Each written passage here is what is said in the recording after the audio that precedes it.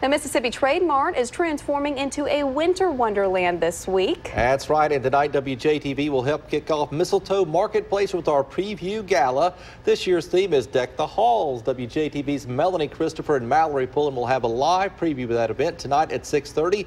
Mistletoe Marketplace will officially open to the public tomorrow. For event times and ticket information, you can go to WJTV.com, and we'll be right back.